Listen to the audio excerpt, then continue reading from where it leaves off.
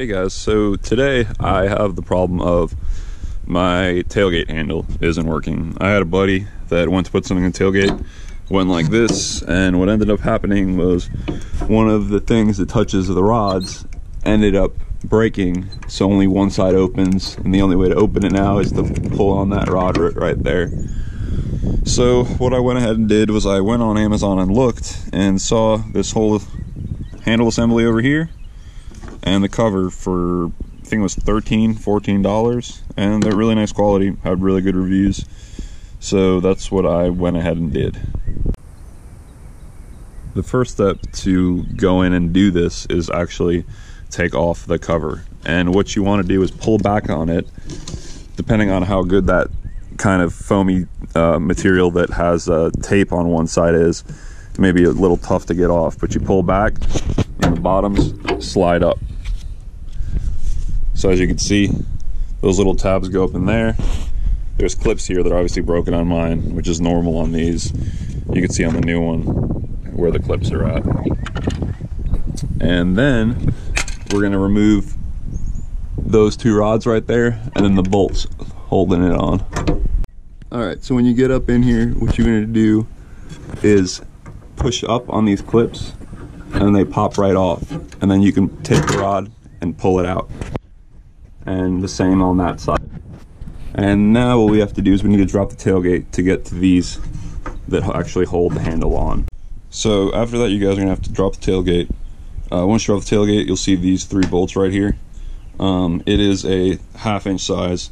Either use a socket or I have just this uh, swivel head ratcheting wrench. Um, and you're just gonna have to remove those three bolts right there. It pops out when you pop the new one in and then tighten those bolts back up. Uh, quick tip before you guys install the handle is to make sure this green clip is on this side and that pink reddish clip is on that side.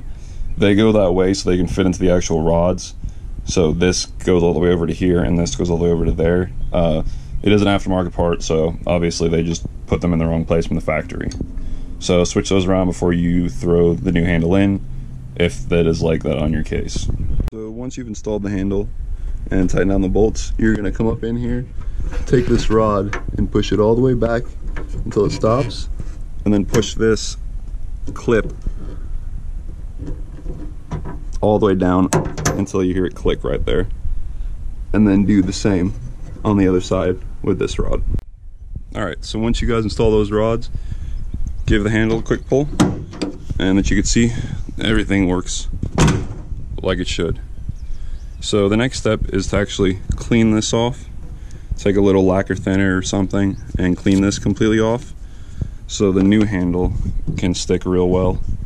I, like I said, I would take lacquer thinner, get all this stuff off, and then uh, you're gonna need a good place for this to stick, so then take some rubbing alcohol, make sure the surface is clean so this sticks nice and tight on there.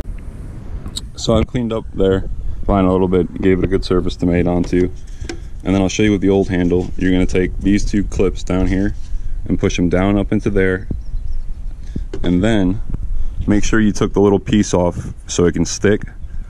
And then you have one clip here, one clip here. And all you're gonna do is take it and push. Push a little bit on these edges so that stuff gets a nice good stick onto there. And then that's it.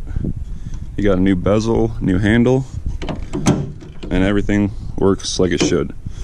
Another good tip is while you're working on this to go in there and take some uh, some normal grease or some lithium grease and grease that corner where it rotates. So if you have a squeaky tailgate it'll solve that. It gets hot here in Georgia during the summer so I do it at least once or twice a year. So everything stays good and it doesn't rust over there and uh, keeps it from making an annoying squeaking noise when the tailgate drops.